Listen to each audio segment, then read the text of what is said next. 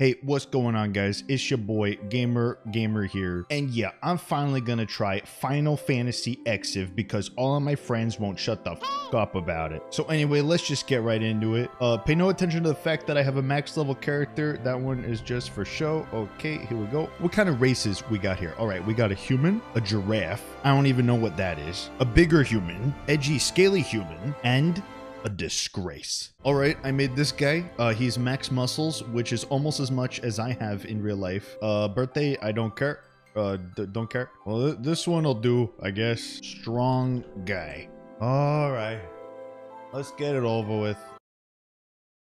Did you know that the critically acclaimed MMORPG Final Fantasy XIV has a free trial and includes the entirety of A Realm Reborn and the award-winning Heavensward expansion up to level 60 with no restrictions on playtime?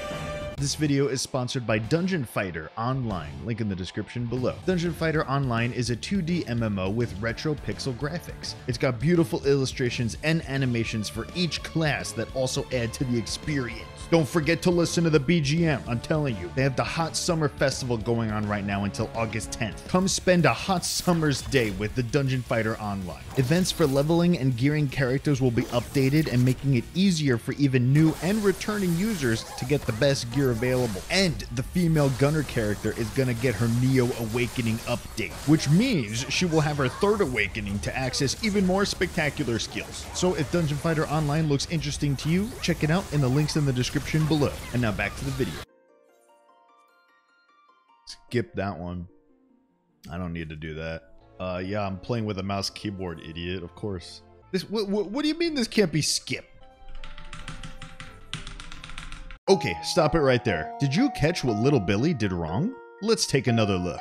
Skip that one. Did you catch it that time? The answer is nothing.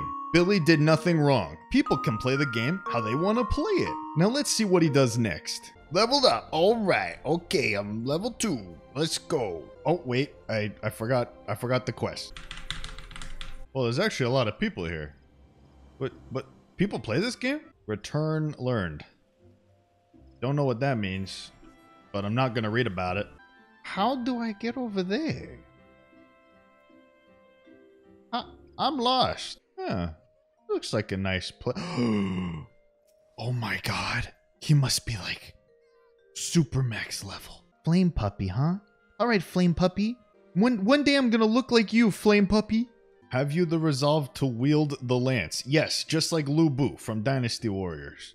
Thank you. Please, can I now go go kill stuff? I, I would just like to kill things now.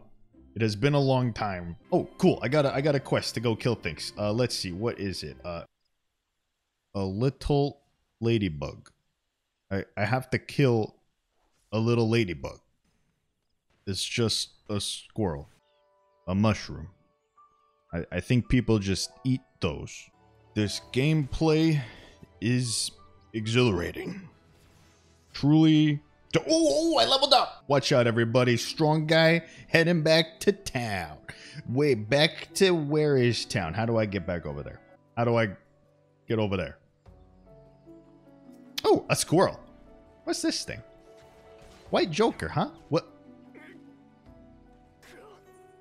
I don't think Dragoons are supposed to do that.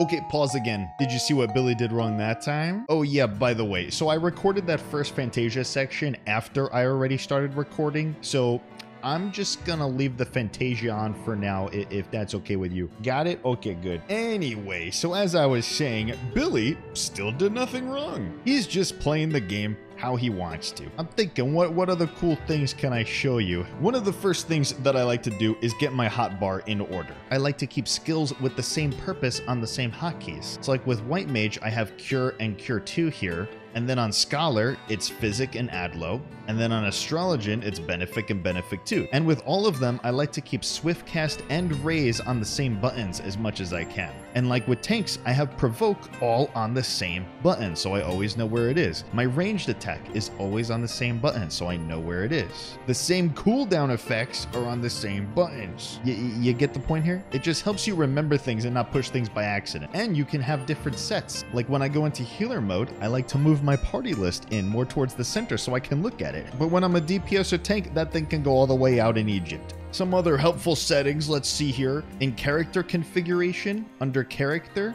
right here, battle effect settings. When you're first starting the game, maybe you want to have it on show off for everybody. But quickly, it might get a little overbearing with how many abilities are showing on the screen. So as you level, I like to show limited for everybody else. You still see the important things, you know, like like like heal bubbles and stuff like that, but you don't see all everything. Ah yes, another one. In character configuration general tab, skip playback of previously viewed cutscenes. So when you go into a dungeon again, you don't gotta watch the cutscene again. And this is what I do for sounds. Uh, I'm very particular with how I want my game to sound. So if you want, you could just copy these settings and kind of tweak them to what you want to do. Because a lot of the sounds in this game are unnecessarily loud. This is probably the most important one. I don't know if it's by default anymore, but in character configuration, UI settings, HUD tab, all the way at the bottom, turn on display targets remaining HP percentage. I don't know if it's default, it, it, might be, but it's so helpful for knowing if you're about to kill the boss or not. One of the absolute best things that I can tell you is just read your tooltips. If you learn how to read these guys enough, you can kind of put together your rotation just by reading them. Obviously, you know, watching a guide or reading a guide helps you out a little bit. And yeah, so besides that, you'll be good you know, in your journey playing this game, just uh, do the MSQ, okay? Just keep playing MSQ and you'll be good.